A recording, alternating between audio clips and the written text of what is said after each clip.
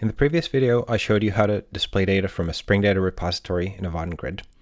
The solution here uses find all on the repository to find everything in the database and displaying it in the grid.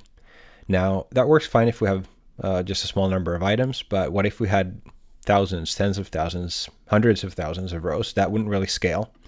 So what we need to do instead of calling find all to fetch everything is we're going to introduce a query here. And instead of calling find all like this, we can pass in a pageable. Vaadin comes with helpers for doing this, so we can use the Vaadin Spring Data Helpers class here. And we're going to use this to spring page request and pass in that query. Now this requires us to return a stream, so we're going to call stream here to return a stream.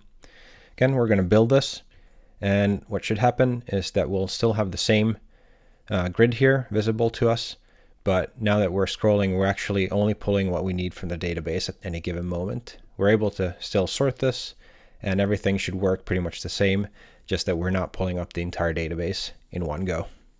Now, if we want to, we can simplify this further by removing all of this and just calling Vaadin Spring Data Helpers from paging repository and passing in that repository right like that. If we build this, nothing should change. Everything should work the same, but just with a little bit less code. And there we go.